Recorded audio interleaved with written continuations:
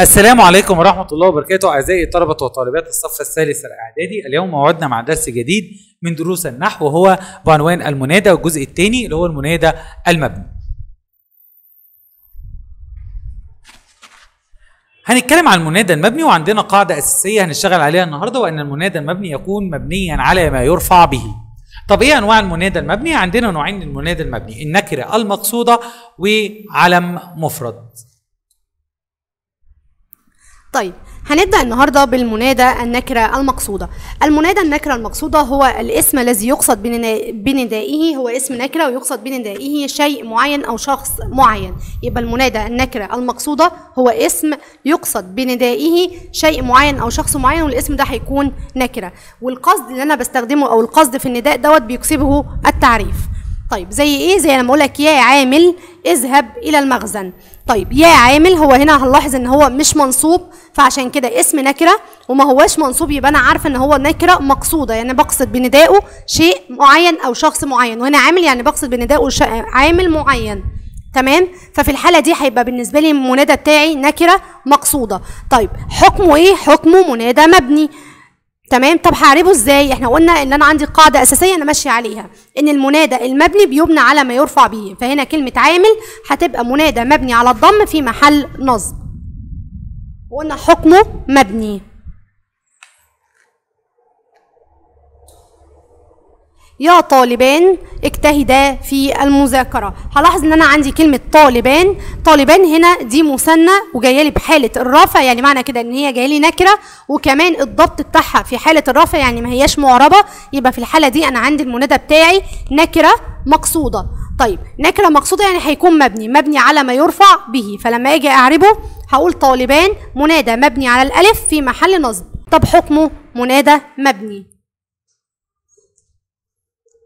المثال بعد كده بيقول يا معلمون لكم الشكر. طب هنا لو بصينا هنلاقي إن كلمة معلمون دي كلمة نكرة. بس هلاقي إن هي معاها علامة رفع اللي هي إيه؟ اللي هي الواو. ما دام كده يبقى نكرة نوعه إيه؟ يبقى نكرة مقصودة. لأن لو تفتكروا مع بعض النكرة غير مقصودة كان علامات نصب. لكن هنا علامة رفع يبقى نكرة مقصودة. طب نعربها إيه؟ هنقول منادى مبني على الواو في محل نصب. طب حكمه؟ حكمه هنقول إنه حكمه مبني.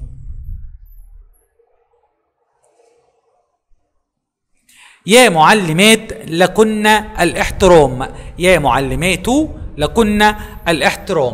طيب هنبص على كلمة معلمات. طبعا إحنا كنا واخدينها في الفيديو اللي فات أو المرة اللي فاتت في الجزء الأول مع النكرة غير المقصودة. قلنا إن هي منصوبة بإيه؟ بالكسرة. طب هنا لا هنتكلم هنا مع النكرة المقصودة. هنقول منادى مبني على الضم في محل نصب. لأن هنا نكرة مقصودة فيكون حكمها إن هي هتكون مبني. تعال نشوف مع بعض السؤال بيقول لي إيه؟ السؤال هنا بيقول لي عين المنادى وبين حكمه فيما يلي. الجملة بتقول لي يا جنود أنتم حماة الوطن. طب يا جنود وهنلاحظ هنا إن مفيش علامة التنوين بتاعة الفتح بتاعتي؟ يعني معنى كده إن النكرة اللي عندي هنا مضبوطة بحالة الرفع. بما إنها مرفوعة يبقى في الحالة دي هي نكرة مقصودة. تمام؟ وبما إنه نكرة مقصودة يبقى في الحالة دي حكمه هيكون منادى مبني. وبما إنها نكرة مقصودة يبقى في الحالة دي حكمه هيكون مبني. يبقى المنادى جنود وحكمه مبني. عندنا سؤال المتفوقين والسؤال بيقول أعرب المنادى وبين حكمه فيما يلي. الجملة بتقول يا لاعبان أديا المباراة بكل قوة. طبعا هنا منتظرين الإجابة على هذا السؤال في التعليقات على الفيديو. تعالوا بقى ننتقل للنوع الثاني من المنادى المبني وهو المنادى العلم المفرد. طب يعني إيه علم؟ العلم دوت اللي هو بيطلق على اسم بلد أو اسم إنسان. طب ويعني إيه مفرد؟ مفرد يعني غير مركب كلمة واحدة غير مركب. نخلي بالنا من الحتة ديت. يعني ما فيش بعديه كلمة تانية مركبة بيها. طب زي إيه؟ زي لما أقول يا خالد لا. لا تهمل المذاكرة. يا خ...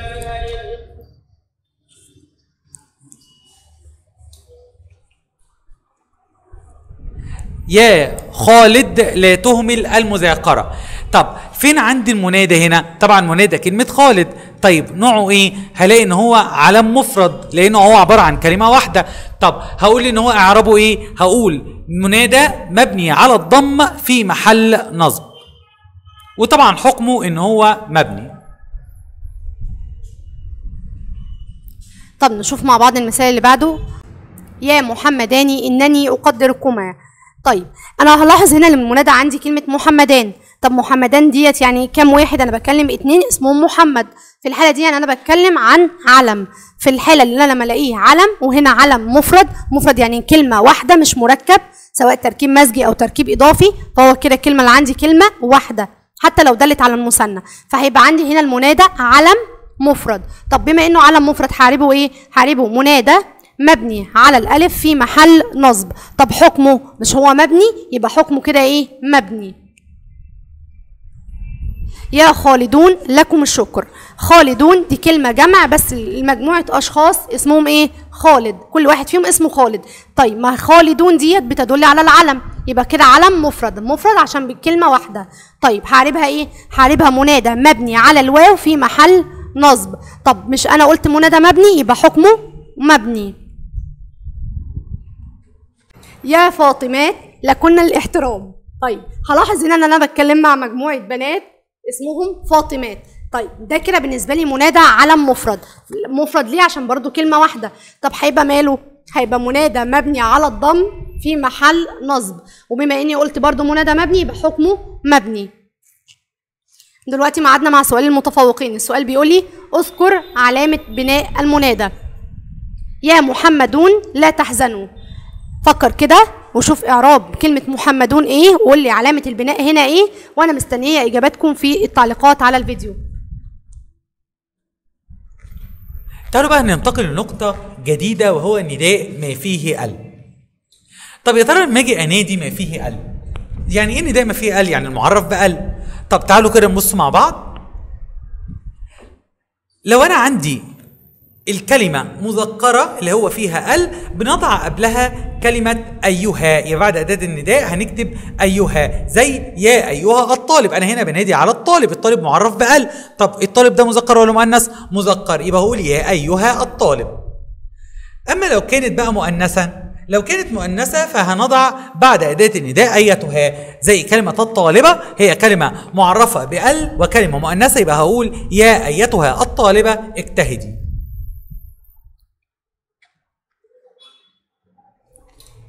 دلوقتي معانا سؤال وإجابة. طيب تعال نشوف كده السؤال بتاعي بيقول إيه. نادي المعلمة في جملة من إنشائك كلمة المعلمة فيها ألف ولام. بدل فيها ألف ولام أوتوماتيك كده هبتدي أستخدم أيها أو أيتها. والمعلمة هنا مؤنث يبقى هستخدم أيتها. فهقول يا أيتها المعلمة وكمل الجملة بقى من عندك. أتقني عملك. تمام كده؟ يبقى يا أيتها المعلمة أتقني عملك. دي كده الجملة. لو أنت حبيت تستخدم أداة تانية غير يا أيتها هتضطر تشيل الألف واللام. وبما إن هو عطاها لك بالألف واللام يبقى الأنسب والأحسن إن أنت تستخدم أيها وايه وأيتها. طب تعالى بقى نعرف إعراب أيها وأيتها واللي بعدها كمان هيتعرب إيه. أول حاجة إعراب أيها وأيتها. هي جاية بعد الياء صح؟ طب الياء دي هتتعرب معايا إيه؟ حرف نداء مبني على السكون لا محل له من الإعراب. بعد حرف نداء بيجي لي منادى. فطبيعة الحال هيبقى عندي أي أو إيه هتبقى بالنسبة لي منادى مبني على الضم في محل نصب. طب ليه قلت عليه منادى مبني على الضم في محل نصب؟ عشان كلمة أي أو إيه دي نكرة بس بقصد بندائها حد معين أو شيء معين. تمام؟ والقصد ده بيكسبها التعريف فزيها زي العلم المفرد. فأنا هتعامل مع أي وأي على إنها نكرة مقصودة.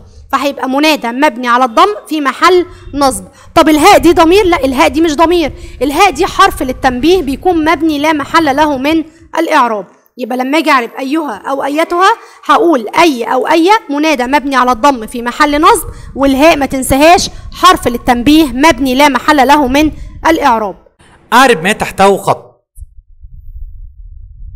يا أيتها الفتاة أنت حرة. طبعا عندنا هنا حطت لنا خط تحت كلمة أيتها. طب تعالوا كده نشوفوا أيتها بعد حرف النداء يبقى هنقول عليها منادى منادى إيه؟ منادى مبني على الضم في محل نصب. طب يا ترى كلمة أيتها كلها؟ لا دي كلمة أي طب والهاء الهاء ده عبارة عن حرف. فقول عليه حرف للتنبيه مبني لا محل له من الإعراب. تعالى مع بعض كده نشوف الملاحظة اللي عندي. الملاحظة بتقول لي إن أنا عندي نوع المنادى أي أو أي بيكون نكرة مقصودة وحكمه البناء.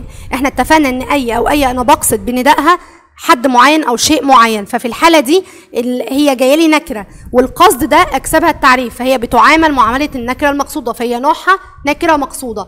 طب والحكم بتاعها؟ هنقول حكمه منادى مبني زيها زي النكرة المقصودة بالظبط اللي هي هي نوع أصلا نوعها نكرة مقصودة. عندنا سؤال المتفوقين السؤال بيقول أعرب ما تحته خط. يا أيها الإنسان ما أنفعك؟ هنا عندي كلمة أيها مطلوب منك إعرابها ومنتظرين الإجابة عن سؤال المتفوقين في التعليقات على الفيديو. تعالوا نشوفوا إعراب الاسم الواقع بعد أيها وأيتها. بيعرب إيه؟ عنده عندنا دلوقتي الاسم الواقع بعد أيها وأيتها ليه إعرابين.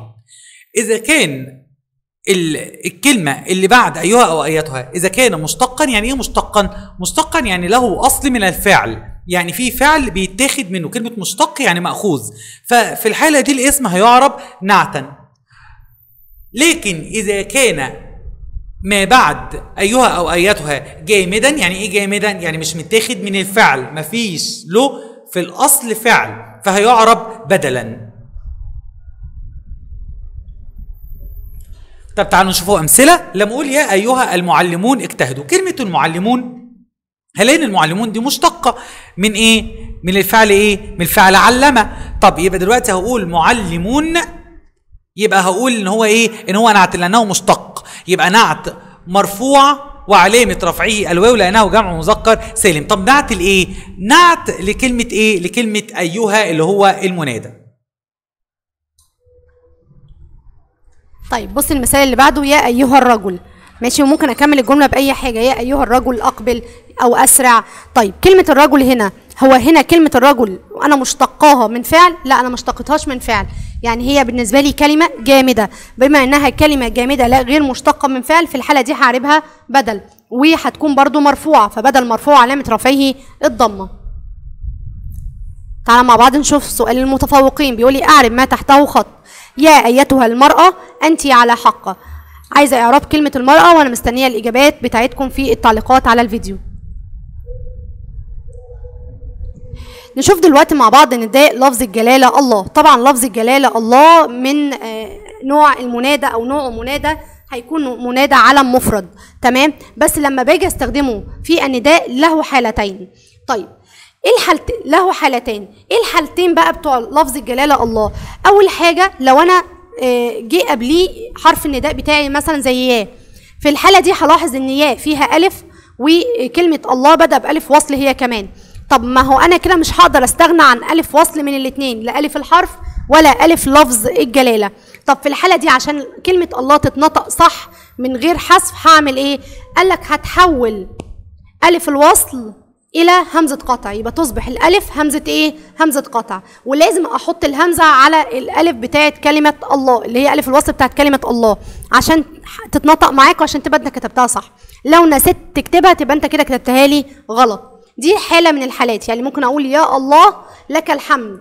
ولازم أحط الألف عليها همزة. يعني لازم أحول الألف لهمزة قطع. طيب في حالة حذف حرف النداء في الحالة دي هعوض عن حذف حرف النداء بميم مشددة تتصل بلفظ الجلالة. فتصبح اللهم. تمام؟ يبقى في الحالة دي هعوض عنه بميم مشددة فتصبح اللهم. طب اعراب لفظ الجلالة في الحالتين هتبقى إيه؟ منادى مبني على الضم في محل نصب. طب ليه عربته كده؟ لأنه منادى علم مفرد. وأكيد حكمه البناء.